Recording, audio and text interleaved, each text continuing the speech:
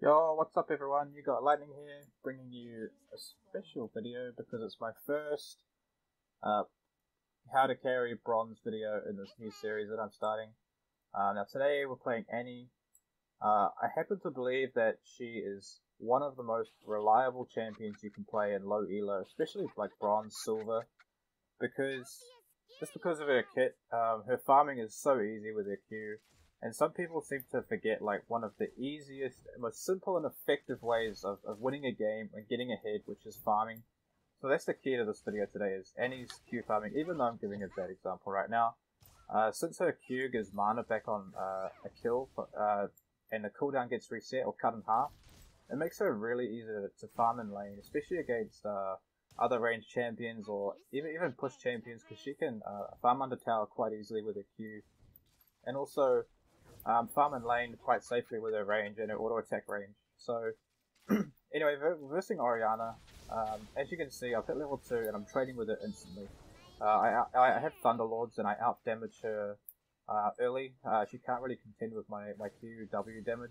And your, your Q is a point and click, and your W is basically an insta insta cast. Like as soon as you cast it, if, if you have your stun up, they're gonna get stunned, right? So uh, it's it's quite she's quite an easy champion to, to trade with. Like see see there, like level two, she came too close and I got my stun up with my with my Q and then instantly W Q'd her, uh, auto attack for the Thunderlord and then ignite.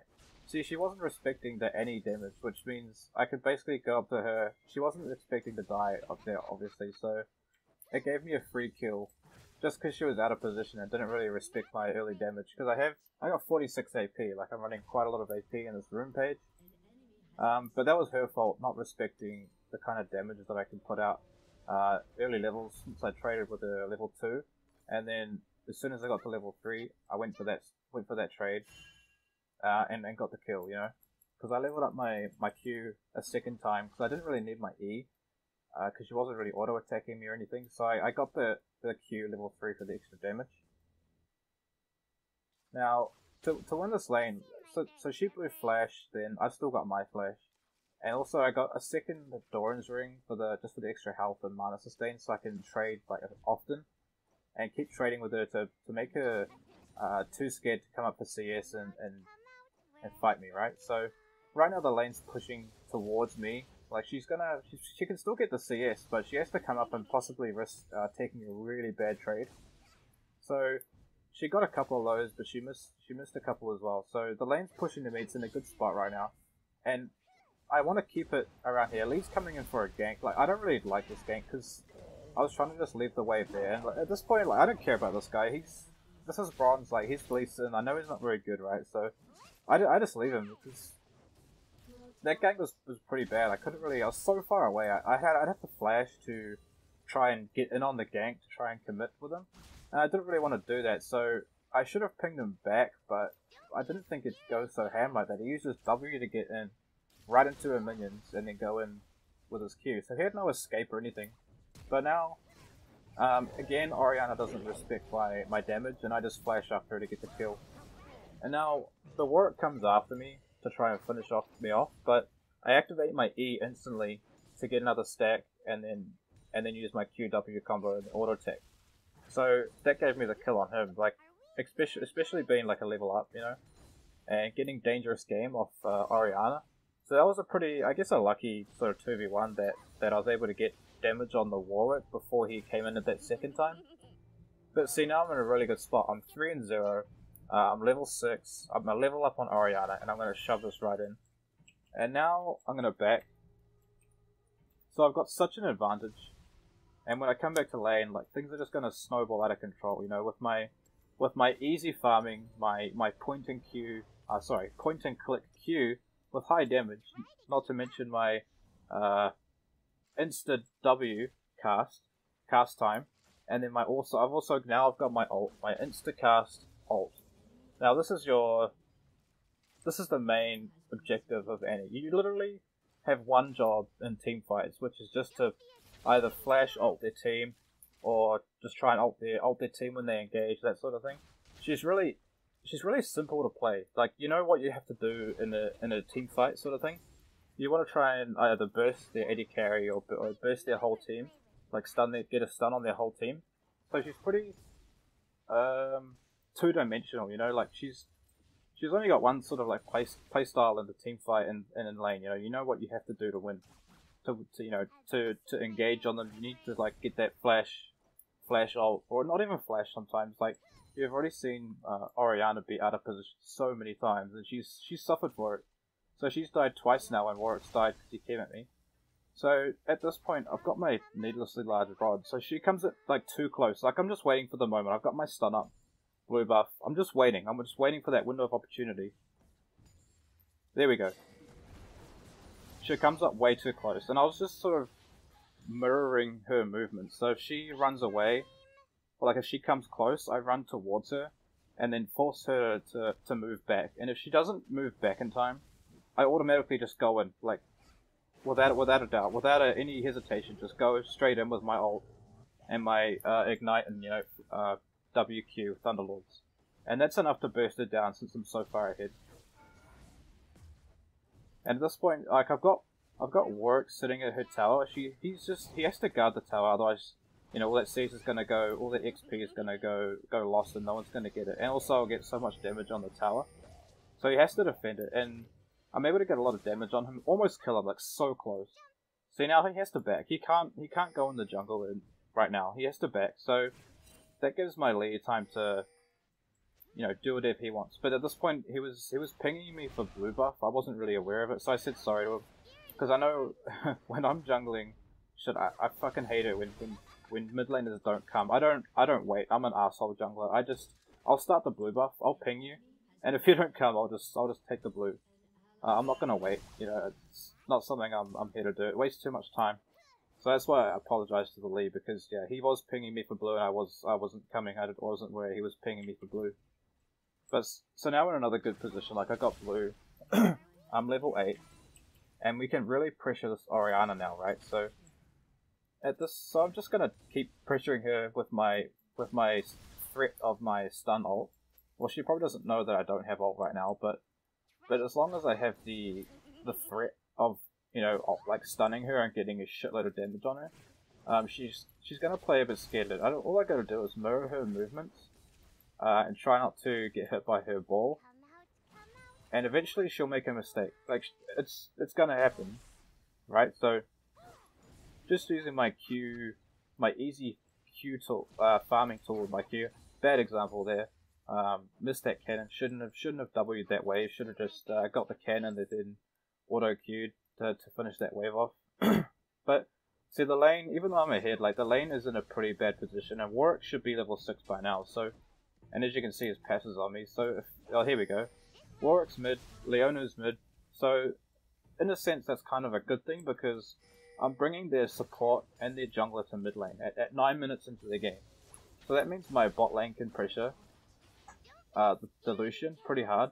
And also, the other lanes aren't pressured by the Warwick, because he's spending so much time mid, right? So, it works out good for me, because it gives my team some breathing space. Now, here I'm low health, I took a bad trade, but again, bam. Window of opportunity, she missed her ult. That was a really shitty ult by her, like, it was, I wasn't even near it, like, I don't know why, I don't know why she ulted, but at this point in the game, she's probably like really desperate for a kill on me because she's so far behind. But what she's done is now just extend my lead. I'm 5 and 0 now. so there's really no way she can come back to this lane. She, she's done. She's done. She's stuffed this lane up so hard by, by just not respecting my damage early and then trying to go for a stupid ult. Well, it was more of a desperation ult. I'd rather call it than a, than a stupid ult. Like, it was still dumb, but it was more of a desperation ult to try and uh, try and get some gold back up on me. Because right now, like, I got two and a half or two point two k, so that's that's my Ludens. I'm gonna go for a Ludens. And it's like she's she's not even gonna have like be close to her Morellos, and she needs uh she needs Morellos, you know, for the mana. But in my opinion, Annie if you get ahead as Annie, I don't think you need uh like like Morellos and stuff like that. You can you can opt to go for Ludens straight away for that early that really early damage power spike, and it won't really affect affect your mana. Like you don't you don't need you don't need heavy mana regen since you get so much mana back from your Q, and you don't really need um, the extra the extra mana regen for anything really, apart from team fights. But uh, when I can when I can sort of burst Orianna down so hard, there's no point in getting so much mana regen, especially when I got two Doran's rings for the extra mana regen and health anyway. So I'm just waiting to see if she's gonna go on me again. Like I, I have a feeling she's gonna land this other ult, or try try for another ult. But the the wave's in a pretty good position in my under my tower. But now it's gonna go back to the middle of the lane. But again, that's fine. Like I, I do have my ignite and my and my uh, ult, so I'm just sort of trying to have that threat up again of being able to stun her. Look, she's level seven and I'm level ten, so when you look at that, like she can't really contest me. Even if she got a combo on me, I don't think I'd die. Now Warwick's come mid yet again, so he's spending so much time mid and he's getting nothing. I'm still so far ahead.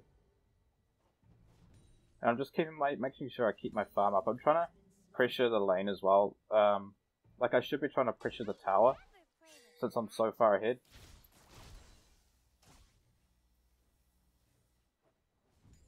But I've just got to. I just have to wait and see what she does. Like, cause I, I need some more wards to be honest. Like, you really need to ward up when when you're this far ahead. People are gonna try and kill you, to get the shutdown gold. See, Warwick just died, so I know I'm not really under any threat for him, but I really want to back. Like, I have 3k gold. I want to spend it. I want to get that extra power spike. Got my Ludens. Got some cooldown boots since my ult's up.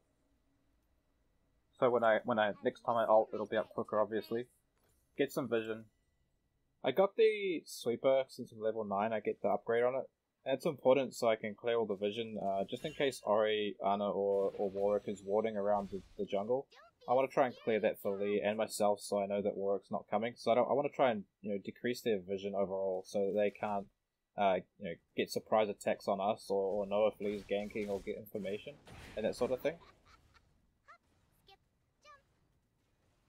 But again, keeping that threat up of the of the ult got my tier 2 boots, so I'm quite fast. but while I've got this threat of stunning her with my ult, she she has to back away. And again, Lee's pinging me for the blue, so I just try and clear the wave quickly and then come and get it.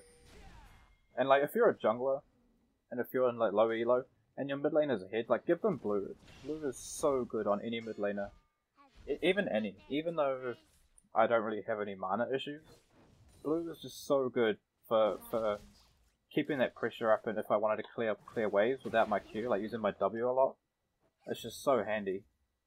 Not to mention the 10% uh, cooldown you get, so next time I use my ult, you know, it'll go on, uh, I have 20% CDR rather than the 10% with just the boots.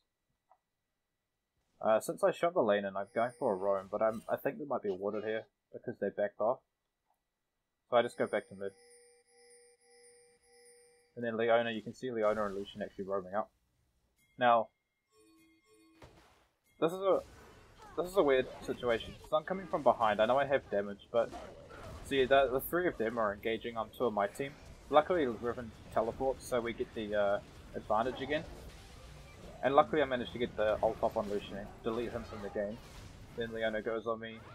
Look at my look at my Tibbers. It's fucking destroying the wallet. Boom, dead.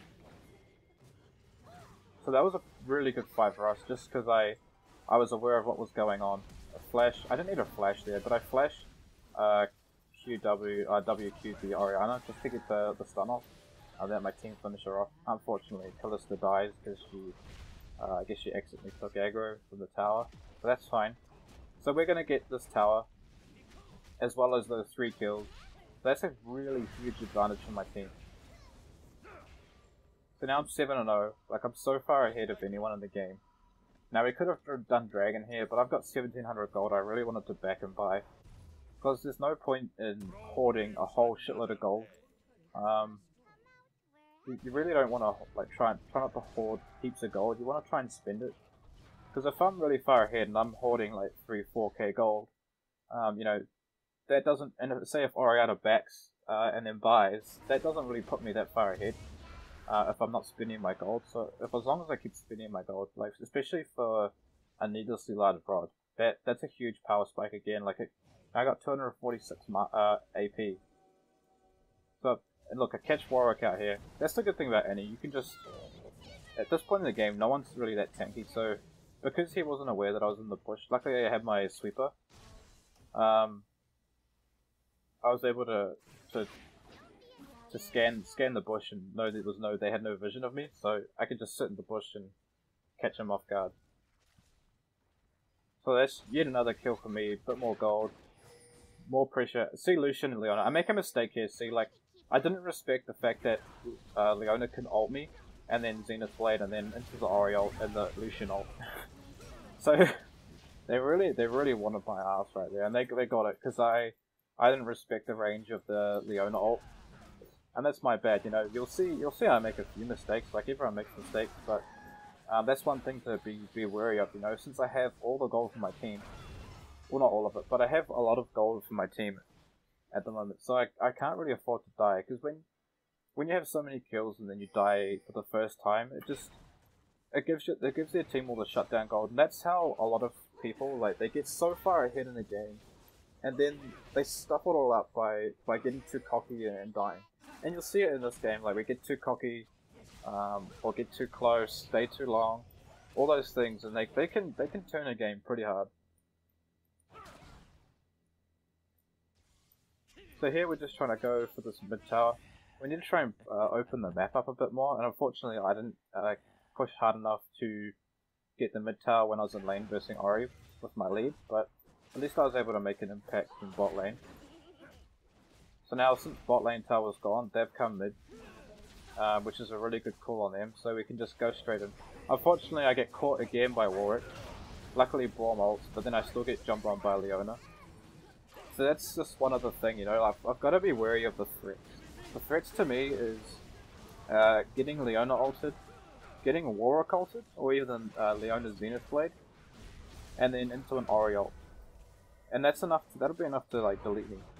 So, since I'm building really squishy, but a lot of damage, like if, if I get jumped on by Warwick, it's basically, it's basically a good night for me, so I have to be really careful of that. And unfortunately, in those two occasions, I, I wasn't respecting their, their damage enough. But see, one good thing is, see, since Ori's so far behind, like, she did a full combo on my team, and she did, like, almost no damage, so, since she's 1 in 6, and she lost lane so hard, she can't really commit to, to like a, like a duel with anyone, because I'm pretty sure Kalista could, like, could take her on, just because she's, she's only got one item, she's only got Morello's, and here's me almost finishing my Rabadons. Now Lee goes in, she ignites Lee. Did he die? Okay, so he lives, luckily. So that's just like yet another kill, but my could just got the tower. We get the tower anyway, so that's good enough. At this point, yeah, there's three, three coming on us, Tryndamere and the jungler Warwick. I stun Tryndamere and back off. We, I should, we don't really want to take that fight at all. We should have just got the tower and backed off. Because by that time they've all respawned, they're all coming back out into the map with, with you know, they've just bought items and stuff. So that was a bad overstay on, all of our part. Luckily I didn't die that time, because uh, they didn't CC me enough, but that, that's fine, so... Just trying to keep pinging so we know where they are all the time. They're chasing Riven, I'm pinging that I'm coming, but... Um, she'll get away anyway, and Tryndamere backs off, so there's no point of us, of me, like, continuing that chase. Although I do use my sweeper to check that bush. Uh, looks like there's some wards in there. Then Leona's there, so I don't really want to get jumped on by Leona, because if, if Tryndamere in the bush or whatever, then then I could die. And again, just using my using my uh, delete button to, to kill Orianna there. And then quickly run away from these guys. Riven the smartass teleports to Tibbers, so that's fine. I thought Warwick was gonna ult me, so I used my E. But he ulted, he got Riven, so that was quite thing. But she kills him pretty fast. And she's getting some CC on Leona. I've got my stacks, so keep chasing, get the stun and we get the kill on Leona. so even though we've made a couple of mistakes this game, we can still snowball the game so heavily just because we're able to keep Warwick coming mid all the time and with several failed ganks. Uh, he got nothing from mid, so if you add up all the time he spent mid, it's just wasted. It wasted a couple of minutes of his time he could have been farming or, or headed bot, you know, so all in all, I think it was a pretty good laning phase. But now we're in the mid game, like you can see Kalista and Bomber overextended down there. They, sh they probably shouldn't be down there alone, even though they, I know they want to get the tower. Like, Lee and Riven are top, I'm mid, I'm backing for my Rabadons. They shouldn't be down there, but that's that's fine. So 21 minutes, I've got Rabadons, Ludens, and half my Zhonya's. I'm going for Zhonya's because uh, if Warwick tries to jump on me or, or if uh, Leona tries to ult me, I can always Zhonya's and dodge all their damage. so to have 400 mana at 21 minutes, uh, sorry, 400 AP at 21 minutes is pretty crazy. Uh, like I could burst anyone down at this point, and here I can see a fight's breaking out. And I go ahead and I ult the Tryndamere and Leona. At, at, that point in time, they were the biggest threat to me. Like, Lucian and Leona were, sorry, Lucian and Warwick were back on the other side of the river, so there wasn't any point in me trying to hold my ult. I might as well just use it so we can delete two members of their team. And we're chasing Lucian. We, we can catch him because I'm faster, I run faster than him. So nice, I get the get the kill steal on that on him. And we ace them. Now we're just pushing bot. Best thing we can do is just push push this uh, into the tower. Riven and Lee can get the dragon really easily, so I just use my tibbers to help push the lane and, and chuck into the tower. Because we can probably get this tower from before when, when Kalista and Braum were going for it. And we get the tower. So we get we get an ace, we get the dragon, and we get a tower. That's a huge amount of gold. Now we're overstaying, we should just be running away.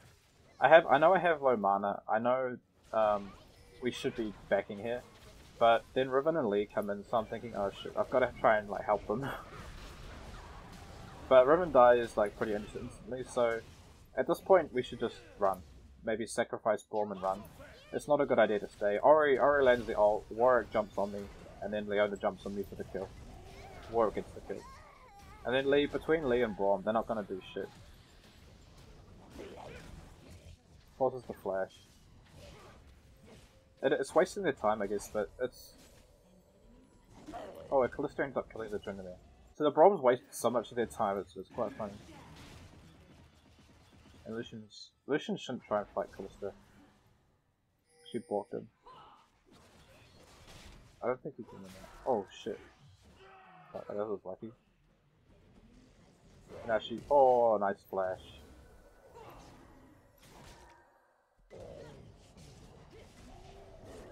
And she does. She goes down. So even though we got an ace there, we still four of us died. So well, Riven died as well actually. So we all we all died um, at one stage or another in that sort of in that sort of fight. So that so we, even though we aced them, got a dragon and a tower, we all still died, which is pretty bad. Like we we should have just left, regrouped as a five, bought bought our items, and, and then pushed pushed another lane. At this point in time, we've cleared all the towers, bot towers, mid towers, and and the top towers. So we really want to try and break their base at this point. But I see Tryndamere split pushing, so I go down and try and kill him. But good thing about Annie is that I can really burst him down before he can ult, because right, right there. Even though I used my ignite, I probably didn't have to. I thought he was gonna ult, so I put an ignite as well with his ult. So when he goes to heal with his Q, he he doesn't heal for as much and he just dies. But I didn't need to do that, maybe he didn't have ult in the last fight. Lee gives me blue again. Props to you, Lee. Good jungler giving the mid lane a blue when they're ahead. Riven's going for the for Leona. We don't really need to chase, but if we can pick Leona off, it's a it's a nice easy pick, nice easy kill steal from me. Uh, like there goes half of their engage. Only Warwick can engage with them now, unless Ori lands like a miracle ult, which you probably won't. And now since Leon is dead, we're pressuring the mid tower, waiting for the minion wave. I think I think the other guys want to do Baron. But I feel I feel like breaking the base, especially when we when we have the ability to break the base, since they don't have much wave clear at all. They have Lucian and, and Orianna. But Ori's not really strong. See, again I get caught by the Warwick for the third time this game. And then I try and flash, and unfortunately I get ignited and auto attacked by Orianna. See that's how these games can can swing either way. Just just from things like that, the the Warwick into Leona and Ori being able to catch me out like that, especially when Warwick has the ability to jump. What I could have done actually is uh, Zhonya. If I if I had fast reaction time, I, wasn't expecting that Warwick at all, not not one bit. But if I had really good reaction time, I could have Zhonya's before he landed on me, and then I could have dodged uh, all the follow-up damage from Leona and Orianna. but unfortunately, he got me. I took a bunch of damage. At least I was able to buy two seconds for my team. And then I probably wasted my flash there. I I thought I could live if I flashed away with Tryndamere Eden, but unfortunately, um, Ori was in range for the for the Q. Oh, sorry, for the ignite and the auto. That's okay. So these guys are getting Baron off that. We won the fight and get Baron. So now that we did get Baron, what do we do? Obviously, we want to try and break the base, which is what we need to do. Um, I I'm going down bot to get Lucian because I want to save the tower. But what I should really do is is group with my group with my team because since I have all the gold for my team, it's more beneficial for me to be with the team rather than go off trying to kill the ADC. Because the ADC at the moment is not very strong, so it's since I'm not with my team, they don't have all of my gold in the in the team fight to try and help. And I'm sitting here chasing Lucian down all the way back to my base. And and this is a good play on Lucian. He's wasting my time, and I'm I'm like the most fit person on our team, and I don't even get the kill on him. He gets executed. So well played from him. I get the XP, but he wasted a good 30 seconds of my time chasing him down to the bot lane, and then all the way back up to my base. Uh, whereas I could have helped my team, and see they just they just got uh, three of my team just died. My Braum, Kalista, and, and Riven. So if I was there, they, they probably wouldn't have died. We probably would have won the fight and probably would have got the inhib. So really bad decision making on my part. And then here I decided to play the wave where I should be going mid to help. But since three of my team are dead, or Kalista just came back up, um, they're pushing mid tower and they're probably gonna they probably would have got it anyway. So I just cleared the wave and then back because I wanted to have enough money for my my Void Staff. I'm still waiting for ten gold. But now that I've got Void Staff, anyone that builds MR, like Leona and Warwick, are quite likely to build MR. Even uh, Tryndamere could get a Hex Drinker. You know, so they're likely to build MR at some point. So I just get an early Void Staff. Because you don't want to you don't want to wait for them to build all of their MR items and then build a Void Staff. You want to just get a Void Staff because you know they have to build MR because I'm so fit. Just using my sweeper to make sure there's no vision around here. Don't want them to be sitting in a bush, especially like Leona and Warwick sitting in a bush just to you know, shit on you when you walk past. So we got another dragon. Now, like, we want to fight. We have Baron. We have all the dragons. We, we have Cloud Dragon, Ocean Dragon. And we're ready to fight. Like, I'm so strong. I'm one item away from full build at 30 minutes. So, I'm, I'm really, really fit really, really strong with, you know, 600 AP.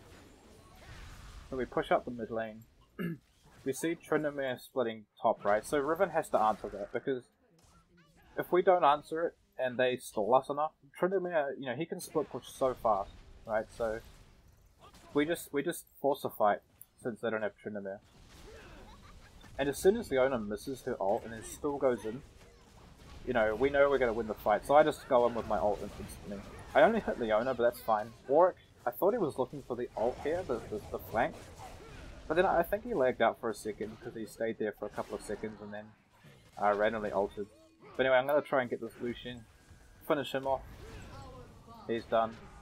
So now Trinity's had to back. He had to answer our, our team fight, our forced engage, right? So he's back and he's alone now. So he's he's already ulted. He's gonna die. Uh, he's gonna he's gonna die. Yeah, he dies.